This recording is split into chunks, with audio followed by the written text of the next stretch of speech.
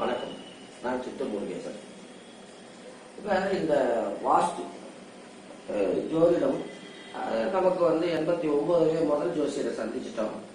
ஆயிரத்தி தொள்ளாயிரத்தி தொண்ணூறு மார்ச்லேயே ஆஃபீஸ் போட்டோம். இது எல்லாருக்கும் தெரியும். ஆனால் இந்த வாஸ்து மேட்டரில் வந்து எனக்கு தொண்ணூற்றி ஏழு வரைக்கும் நம்பிக்கை கிடையாது. அதுக்கப்புறம் தான் சில அனுபவங்கள் காரணமாக நான் இதில் கொஞ்சம் ஆராய்ச்சியில் இறங்கினேன். அதே போல எங்க ஊர்ல வந்து ஒரு பிரபல ஜோதிடர் இருக்கிறாரு. அவருக்கு வந்து நான் கொடுத்த பட்டம் வந்து மக்கள் ஜோதிடர். அவருடைய பெயர் வந்து கே. வெங்கடமுனி நாயுடு. அவர் வந்து கட்டிடக்கலை ஒரு அறிமுகம் அப்படின்னு ஒரு சின்ன புக் எழுதினார். அது வந்து நம்மளை வந்து காப்பிரைட்டரா யூஸ் பண்ணாரு.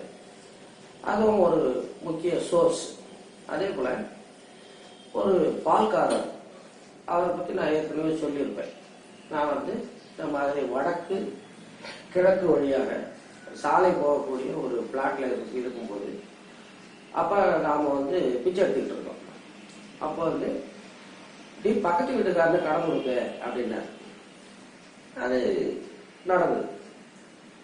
அந்த பால்காரர் இந்த வெங்கடமன் நாயுடு இவங்களெல்லாம் வந்து நாம நினைச்சு பார்க்கணும். அது ஒரு பக்கம். இப்ப எங்க ஊர்ல இந்த வாஸ்து சாஸ்திரத்தினுடைய சாரத்தை வந்து ரொம்ப சிம்பிளா சொல்லுவாங்க.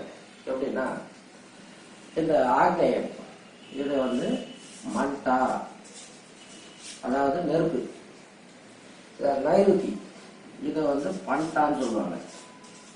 பட்டான்னா இப்போ நம்ம எல்லாம் வந்து அக்ரிகல்ச்சரல் பேஸ்டு சொசைட்டி இந்த தானியங்கள் எல்லாம் இங்கே தான் சேகரித்து வைப்பாங்க.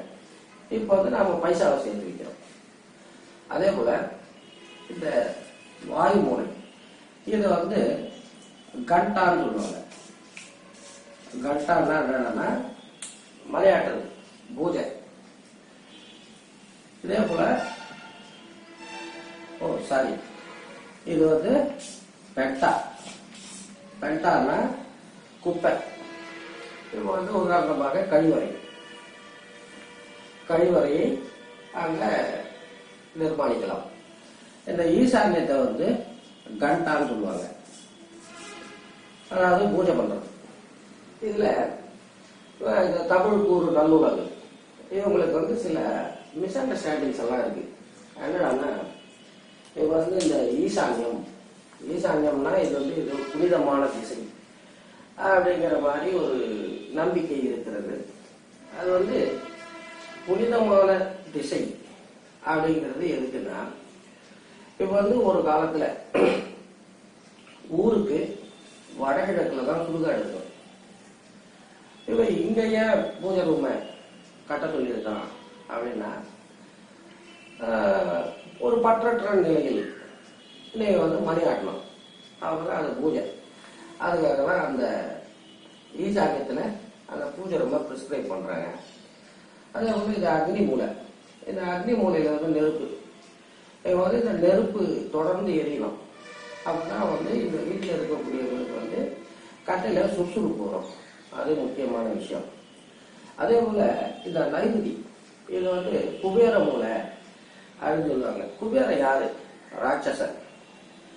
அதாவது இந்த ராட்சசனுடைய தலையில வந்து பாரத்தை வைக்கணும். அதன்படியாக இந்த நைருதி மூலையில தான் வந்து படியெல்லாம் வைப்பாங்க. அதே போல் டாப்பில் போகும்போது ஓவர் ஹெட் டேங்கு இந்த கன்ஸ்ட்ரக்ஷன் வந்து இந்த நைருத்தியில் கட்டாயம் இருக்கணும். இது வந்து காலியாக இருக்கக்கூடாது இது எதுக்கு நான் சொல்கிறோம்னா நைருத்தி நைருதி மூலை என்பது குடும்ப தலைவரை காட்டக்கூடிய ஒரு ப- இது இடம்.